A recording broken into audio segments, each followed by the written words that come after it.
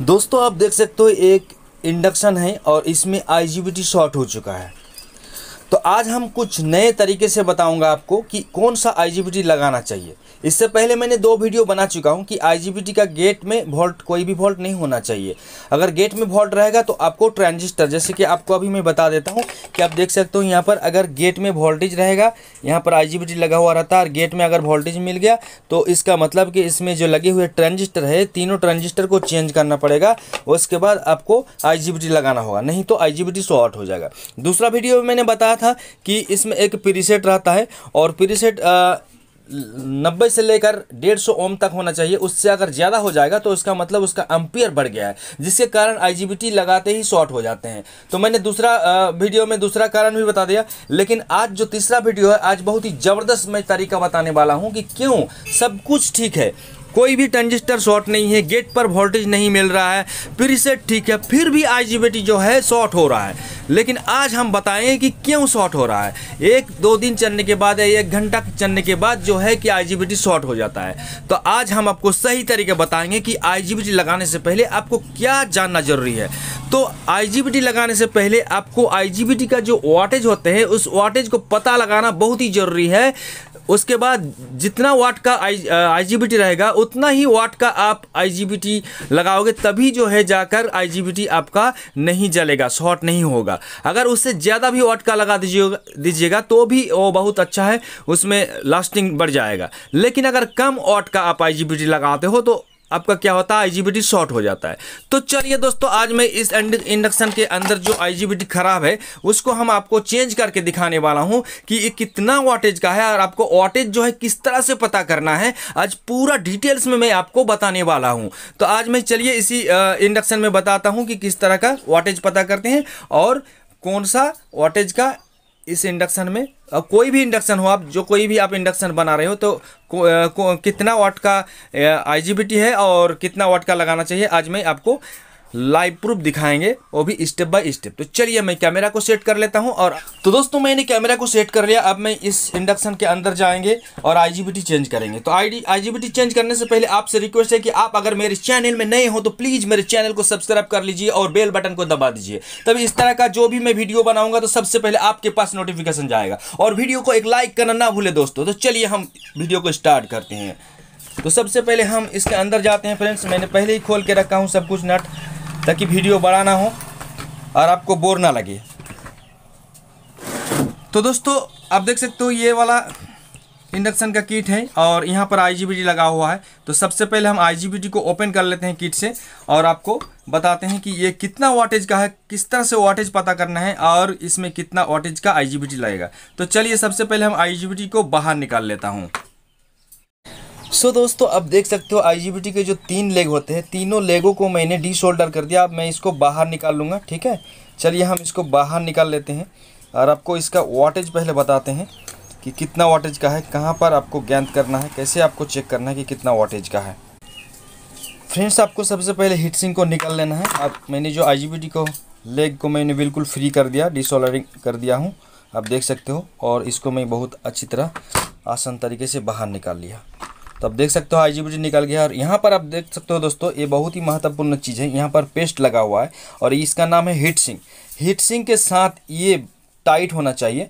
अगर आप heat sink के साथ इसको टाइट नहीं कीजिएगा, ढीला रख दीजिएगा तो ये गर्म होके ये जो है आई शॉर्ट हो जाएगा, चाहे कितना भी वाटेज का आई हो।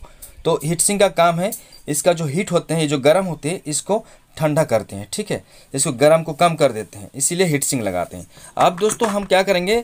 इस आई लगाने से पहले इसका वाट हम देखेंगे। तो चलिए, पहले हम इसे थोड़ा साफ़ कर लेते हैं, तभी आपको कैमरा में देखने मिलेगा। सो दोस्तों, अब देख सकते हो मैंने आई को साफ़ कर लिया, और इसका जो नंबर है, इसका नंबर मैं अच्छे से दिखाने की कोशिश कर रहा हूँ कैमरे में अच्छे से नज़र नहीं आ रहा, लेकिन आप शुरू में देख सकते हो, ये ट्वेंटी एन लिखा हुआ है, उसके बाद one three six F D L ठीक है? तो आपको जो ट्वेंटी लिखा हुआ है, फ़र्स्ट में ट्वेंटी एन लिखा हुआ है, इसका मतलब ये बीस अम्पियर का है। तो इसमें जो लगा हुआ था इस इंडक्शन के किट में, ये 20 एम्पियर का है। और 20 एम्पियर का मतलब होता है ये 2000 वाट तक ये काम करेगा। अगर इसको आप बाईस सौ वाट में लगा दोगे तो ये एक दो घंटा बाद ये फूक जाएगा, ये शॉर्ट हो जाएगा। अगर हम यहाँ पर जो ट्वेंटी एन लिखा हुआ है, इसके जगह अगर हम पंद्रह एन लगा देंगे तो वो पंद्रह एम्पियर का होता है और इस इंडक्शन में काम नहीं करेगा। आधा घंटा, एक घंटा या एक, दो दिन बाद ये शॉर्ट हो जाएगा। तो हमको यहाँ बीस एन ही लगाना है, या तो इससे ज़्यादा एन का लगाना है। तो चलिए हम कौन सा आई लेते हैं और इसके जगह लगाते हैं। तो सबसे पहले हम इसको चेक करके आपको दिखाते हैं फ्रेंड्स कि ये शॉर्ट है या सही है, ठीक है? तो फ्रेंड्स आपने देखा कि मैंने मल्टीमीटर ले चुका हूँ और कंटिन्यूटी मोड पर रखा और इसको मैं शॉर्ट चेक करके दिखाता हूँ कि सही में ये शॉर्ट है या या सही है, ठीक है? तो देखिए मैं बारी बारी से लीड को लगाता हूँ तो बीप का साउंड सुनाई दे रहा है, देखिए। तो ये तीनों लेग में ये शॉर्ट हो चुका है। तो ये शॉर्ट है फ्रेंड्स और ये 20 वाट का है आपको याद रखना है। अब हम इसके जगह कौन सा लगाते हैं आईजीबीटी आपको दिखाते हैं चलिए। तो आप देख सकते हो फ्रेंड्स मैंने एक आईजीबीटी लिया ये मैंने दूसरा इंडक्शन से खोला क्योंकि पुराना वाला आ, मैंने खोला नहीं मतलब आ, पुराना वाला जो IGBT है वो मिल जाता है पुराना इंडक्शन से मार्केट में मिल जाता है। ये ज़्यादा लास्टिंग होता है इसीलिए इसी को काम में लेते हैं। तो इसका आप नंबर आप देख सकते हो इसका नंबर बहुत ही क्लियर आ रहा है।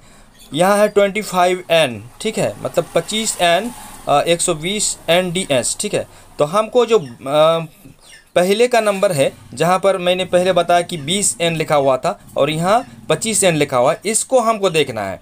तो यहाँ 25 एन लिखा हुआ है मतलब ये 25 एम्पियर का है। तो ये 2500 वाट तक ये काम करेगा। तो इसमें हम आराम से लगा सकते हैं क्योंकि इसमें 2000 वाट का लगा हुआ था 20 एम्पेयर का, लेकिन हम इसमें ढाई हज़ार वाट का लगाते हैं 25 एम्पेयर का। तो चलिए हम इसको लगाते हैं और किस तरह से काम करते हैं आपको दिखाते हैं।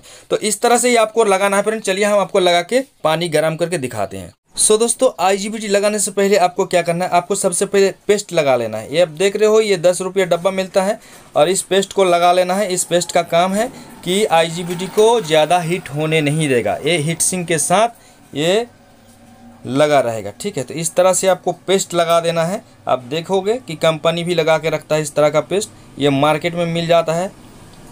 तो चलिए हम इसको पेस्ट लगा लेते हैं। तो फ्रेंड्स आपने देखा मैंने किस तरह से इसको कस दिया? जो मैंने हीट सिंग वाला पेस्ट लगा के इस हीट हीट सिंग के साथ नट्स है। नट से मैंने कस दिया इसको। आपको भी इसी तरह टाइट करके कसना है। और अब चलिए हम इसको सोल्डरिंग कर लेते हैं और आपको चेक करके दिखाते हैं किस तरह से काम करते हैं। चलिए इसका लेग जो है बड़ा हो गया, थोड़ा मैं छोटा कर देता हूँ काट कर। और मैं चलिए अब सोल्डरिंग कर देता हूँ यहाँ पर फटाफट।